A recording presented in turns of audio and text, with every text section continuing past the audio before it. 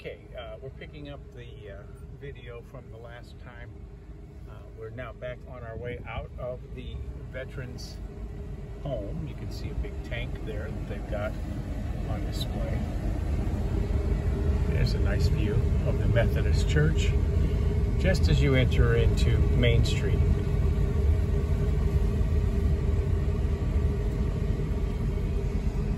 All the properties seem to be uh, very well maintained uh, that we've seen in town, quite close together, uh, which is typical of uh, some of the older small towns.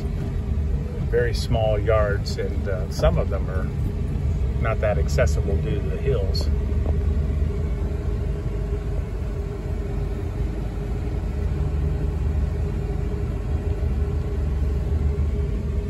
It's a beautiful older building there with a wraparound porch on the corner.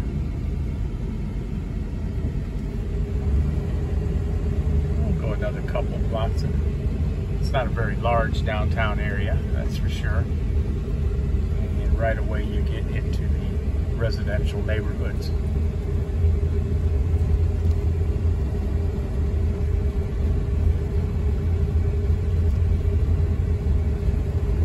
Bright and sunny. One thing that we've noticed is there's very, very little shade in any of the parking lots. They've got thousands and thousands of trees, but they've all been removed from every single parking lot. You can't find a parking lot here that has shade trees in it.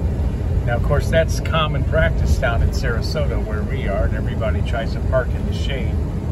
But here, for some reason, when they, whenever they develop a, a business, they eliminate every single tree in the parking lot. I don't know why they do that. Okay, that's Barboursville, West Virginia.